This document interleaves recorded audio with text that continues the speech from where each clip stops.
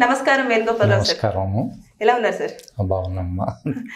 Sir ఈ మధ్య కాలంలో మనం విన్నాము ఒక మనిషికి పంది గుండెను అమర్చారు. అది ఏ విధంగా సాధ్యం సార్? అట్లా పంది గుండెను మనిషికి అమర్చడం అమర్చితే.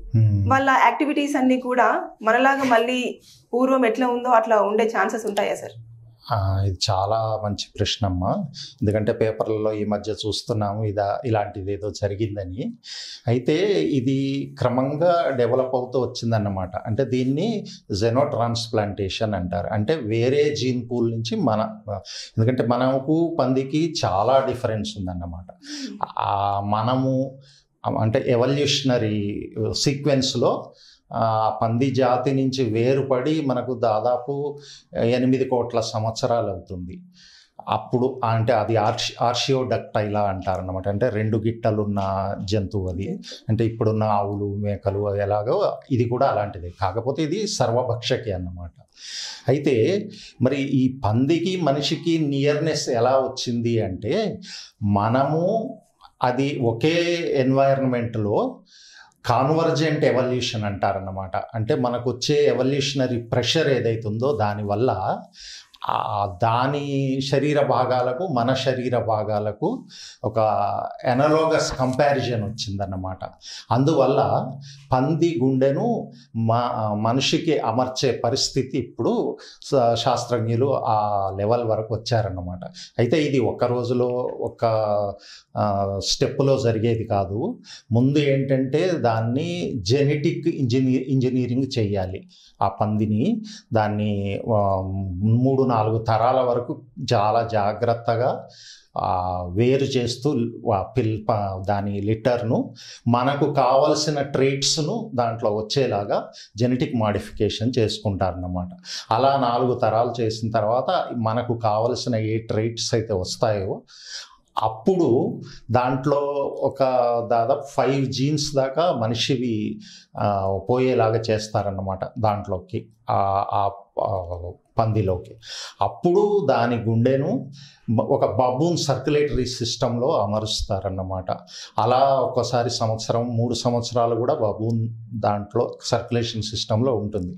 ఆ విధంగా ఈ రిజెక్షన్ అంటే వైలెంట్ రిజెక్షన్ ఉంటుంది అన్నమాట వేరే శరీర భాగం జంతువుది ఏదైనా తెచ్చి మన శరీరంలో పెడితే మొదటిసారి ట్రై చేస్తే ముప్పై నిమిషాల్లోనే అది రిజెక్ట్ అయిపోయింది అనమాట తర్వాత తర్వాత ఈ ఈ వీళ్ళు దాని గురించి నేర్చుకొని అసలు ఏ ప్రోటీన్ వల్ల ఇలా జరుగుతుంది ఏది ఏం చేస్తే ఇది రిజెక్షన్ లేకుండా ఉంటుందనేది శాస్త్రజ్ఞులు స్టడీ చేసి ఫైనల్గా ఏంటంటే వాళ్ళు రెండు వందల రోజుల దాకా ఇబ్బంది లేకుండా చేయగలిగారన్నమాట.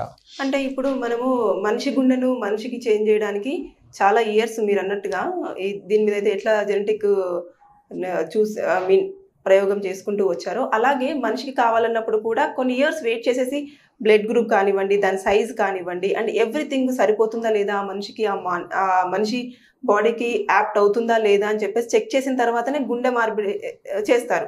కానీ ఈ పిగ్గుకి ఎట్లా చూసారు మీరు అన్నట్టుగా ఏమేమి క్వాలిటీస్ని వీళ్ళు ఇంజెస్ట్ చేయడం జరిగింది? అసలు ఎట్లా జెనెటిక్స్ అనేది వాళ్ళు చూసుకుంటూ రావడం జరిగింది. చాలా టెక్నికల్ విషయం శాస్త్రజ్ఞులు ఇది ఇది ఒక్క రోజులో అయింది కాదు కదా.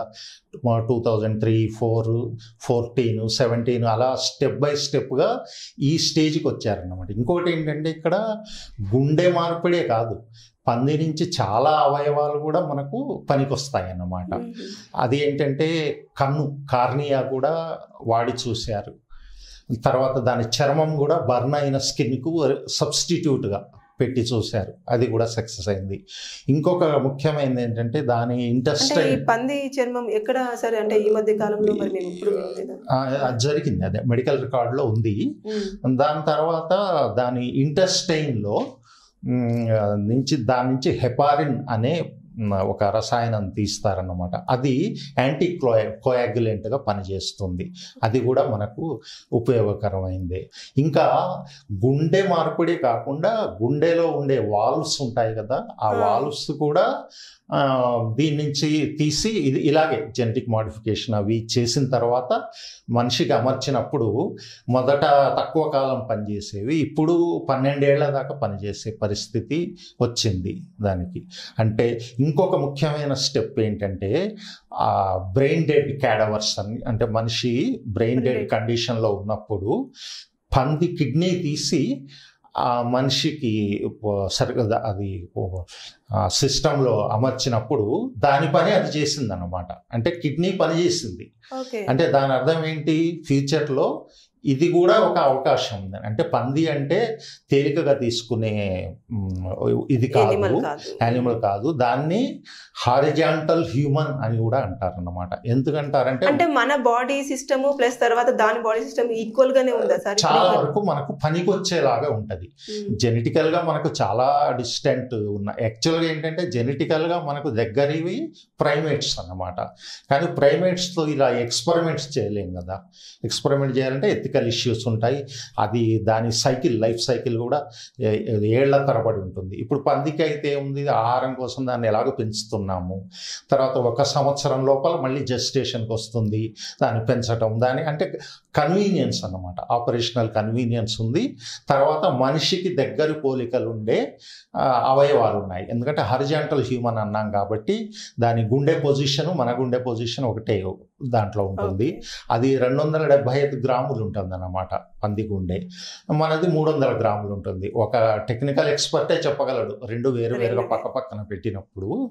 సో అలాంటివన్నీ దీనివల్ల ఉపయోగాలు ఉన్నాయన్నమాట. అంటే పందే కదా అని దాన్ని తేలికగా తీసుకోవడానికి వీల్లేదన్నమాట. దానివల్ల మనకి ఎన్నో ఉపయోగాలు ఉన్నాయి. అంటే కిడ్నీ పరంగా కానివ్వండి రెటీనా పరంగా కానివ్వండి హార్ట్ పరంగా హార్ట్ ఇవన్నీ అంటే ఇవన్నీ డెవలపింగ్ స్టేజ్లో ఉన్నాయి. ప్రస్తుతానికి హార్ట్ ఇప్పుడు ఈ మధ్య చేసిన Transplantation. ట్రాన్స్ప్లాంటేషన్లో బాల్టిమోర్లో యాభై ఏడేళ్ళ పర్సన్కి చేశారు.